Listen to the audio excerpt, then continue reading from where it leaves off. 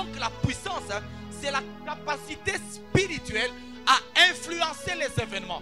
D'où la nature des hôtels, que ce soit les hôtels des dieux, que ce soit les hôtels des sorcelleries, les hôtels ont la capacité d'influencer les événements.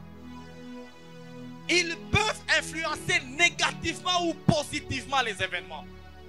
Il y a déjà il y a un hôtel les événements.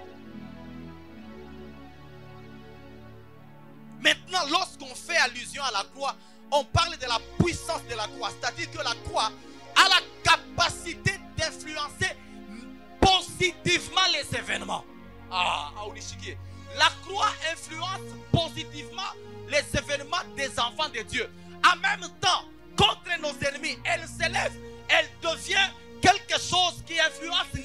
négativement leur, leur, vie. La croix, c'est une arme d'attaque et de défense. D'attaque parce qu'elle attaque tous les hôtels de sorcellerie. De défense. De défense parce qu'elle sécurise merveilleusement bien la croix.